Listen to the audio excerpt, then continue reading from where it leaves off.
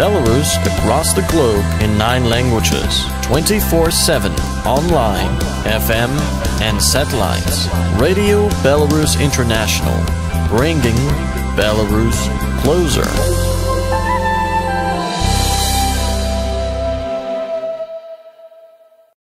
Mr. Jha, this year our countries will celebrate 30th anniversary of bilateral relations, and this is quite a remarkable date as our countries uh, have reached high level of political dialogue, and as I guess uh, the visit of Indian Prime Minister Narendra Modi is under consideration now to Belarus.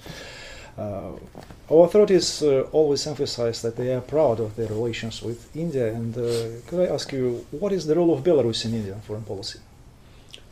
Uh, first of all, let me thank you uh, profusely for giving me this opportunity of uh, uh putting forth my views uh, for for your listeners.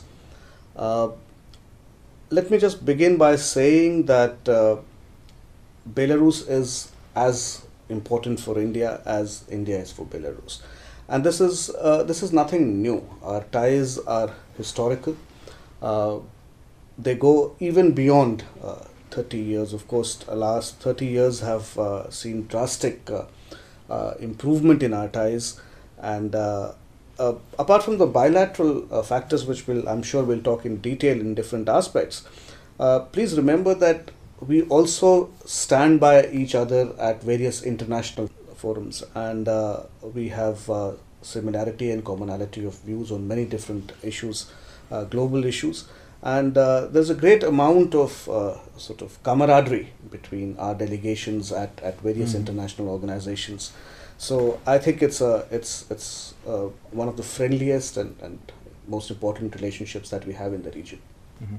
Our countries uh, have uh, also very fruitful economic ties, and they are mulling over projects in different key sectors such as oil extraction, mining, also IT sector. What are the most significant projects in this field? Uh, well, as you rightly pointed out, this uh, the economic and commercial interaction between our two countries is multifaceted. Uh, there are certain areas which are uh, historically areas of cooperation. Uh, heavy machinery, I'll give you just one example, uh, especially agriculture machinery. that is something which, where Belarus's capabilities and India's requirements complement each other.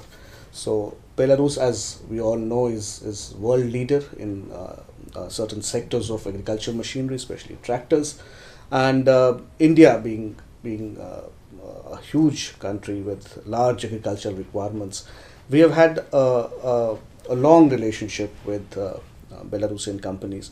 So there have been traditional areas, and then, as you rightly pointed out, there are new areas. Mm-hmm. So IT is is one area where uh, I think both our uh, countries are are cooperating. We have IT professionals from India who are currently working in Belarus. Uh, there are other areas which are now uh, coming up in terms of uh, science and technology. We'll probably talk more about it as we as we go along. But basically, if I have to sum it up, it's it's uh, twofold. The areas which uh, where economic and uh, commercial relationship have uh, has been going on for for for quite some time. It's historically, and then there are areas with immense potential which are now coming up for cooperation. Mm. Going back to cooperation in science and technology, our countries uh, uh, announced a joint uh, SkyTech contest, uh, which will focus on artificial intelligence, uh, Internet of Things, and uh, cloud storage. So, could we expect more projects in this field? Yes, absolutely. You have, you, have, you have rightly pointed out that, and now these are the areas which are actually at the cutting edge of today's technology, whether it's Internet of Things, whether it's cyber physical systems, uh, and this is something which, again, both our countries are, let me put it, pretty good at, and uh, uh, there is uh, definitely a scope to enhance this, and I'm I'm happy to inform you that uh, this year, 2022 there are two major events that are planned. One in march and second in the second half most likely around august september. These are events which will take our scientific cooperation a step further. Our uh, particular scientific communities government organizations dealing with science and technology are already working with each other. But then these are the new areas which have come up. And uh, there is tremendous scope. The, not just the scope, I think there's a tremendous requirement at this point in time uh, for both our scientific community and our business community, which deals with these scientific uh, uh, uh issues, mm-hmm. to get together. And these events will primarily work towards mm-hmm. that. What about cooperation in the field of green economy? Because uh, in his latest speech at Davos Forum, Indian Prime Minister Narendra Modi emphasized the necessity to boost cooperation in this field. Do we have any joint uh, spheres of uh, interaction in this regard? Uh, this is another area which is very dear to our current leadership. Uh, as you rightly mentioned, the Honorable Prime Minister of India is today one of uh, the leading entities on a global scale who is talking about renewable energy, green energy, and uh, India has has given its size, given its economy, given its population. India has a, a, very important responsibility and a role in in greening of the world economy, and our current prime minister is is uh, completely dedicated towards this. Uh, we have set very ambitious targets for for for this decade uh, a huge significant chunk of our energy requirement by 2030 will come from uh, green sources. Uh, at this moment, uh, honestly, uh, there isn't much that India and Belarus are doing together in this area. But again, this is something, uh, an area full of potential. And we'll be more than happy if the concerned Belarusian authorities, Belarusian firms, organizations wish to indulge in any kind of cooperative activity, cooperation activity with India, uh, will be, as an embassy, we'll be more than happy to bring the two of them together and, and take up new projects. Mm-hmm. India is the third world largest uh, farm producer, and uh, Indian companies uh, are working worldwide as well as in Belarus. And it is worth mentioning Indian company uh, Cipla, which has invested uh, more than million US uh, dollars into farm production here in Belarus. How is it possible to advance cooperation in this field, especially with regard to COVID-19 treatment and prevention? Sure. Okay, so this, as I as I was uh, responding to one of your previous questions, pharmaceutical uh, industry remains one of the old uh, industries where our cooperation, just like agricultural machinery. Uh, there have been uh, Indian companies which have been working in Belarus or working with Belarus even during Soviet times. So uh, the progress there is is definitely satisfactory. But as as you rightly pointed out, that COVID 19 pandemic has given a new dimension to this cooperation, to this industry per se. And uh, we, are, we are extremely open uh, to work with all friendly countries, including Belarus, uh, whether it is in terms of vaccine manufacturing, whether research on drugs, because that is an area which is very, very new at the moment. And uh, uh, I, I, understand that uh, there are similar research this some going on in Belarus. And I think because we have a significant number of Indian students who are studying mm. medicine here.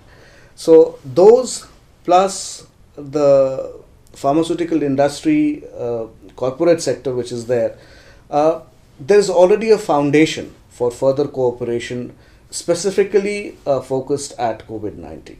Uh, talking about uh, cooperation in the cultural sphere, uh, Indian movie Squad, shot in Belarus, was released uh, last year, and I watched uh, the trailer of this movie. It, uh, it was quite unusual. It's, it's, quite different from the movies I used to. to watch on Indian TV or on the, in the cinema. So, could we expect more filmmaking projects? Absolutely. In fact, when I arrived here about five and a half months back, uh, even before I arrived here and I was uh, uh, uh told by my government that I have to go to uh, Belarus, I, I started kind of exploring areas of cooperation where we can take this relationship, already a very healthy, robust relationship, but to take it even further. And one area where I, I thought that uh, I think we have potential because we haven't unfortunately done much is that of tourism and tourism and Bollywood are linked. Uh, you would see there were a lot of uh, places in Europe which uh, uh, an average traveler in India was not aware of. Then suddenly one fine day you see a Bollywood film with a shot with a song shot in that country or a, or a scene shot in that country and suddenly what you see huge number of indian tourists traveling to this this started with with switzerland in in 80s and uh, and then it came to other parts of the world uh, uh, and, and eastern europe there are other places where a lot of these films have been shot and there is no reason why belarus which which uh, for me is one of the most beautiful countries in the world it has you have uh, 11,000 rivers and, and lakes. You have uh, more than 40% of forest cover. Uh, it's, it's such a beautiful place that it just needs to be discovered by Bollywood. And as you, as you rightly pointed out, uh, there are already film units which have uh, uh, started working here in, in Belarus. And I, I sincerely hope, this is again unfortunately one of those things which is directly related to COVID because it's about traveling, it's about uh, people moving from one place to another. This is not something which can be done mm-hmm. virtually. So uh, this is uh, on, on, very high on the agenda. Tourism, especially with regard to uh, Bollywood filmmaking in Belarus, is very high on my agenda at least. So as the film is on the screen, we expect more tourists from India in the nearest future. Yes, definitely. I mean, film. This film could. Uh, I uh, honestly, I haven't seen the film, but this could be one of the sort of uh, impetus, one of the factors that will uh, drive tourism. But we also need to advertise each other well. Uh, Belarus in India and India in Belarus, because the number of tourists between our two countries is is frankly way below potential. Uh, and I know that people in Belarus travel a lot. People in India travel a lot and uh, there is no reason because Belarus is, is not very far. I mean, it's it's if if you uh, have uh, if you travel via Moscow, for example, it's it's just five six hours, and uh, I I think uh, the movie will definitely help. But then there are other ways in which the tourist potential, tourism potential between our two countries can be reached. So thank you very much for your interview. It was a pleasure to meet you. Thank you so much and very kind of you to uh, to have come. I wish you and all your team a very happy new year, a very productive 2022.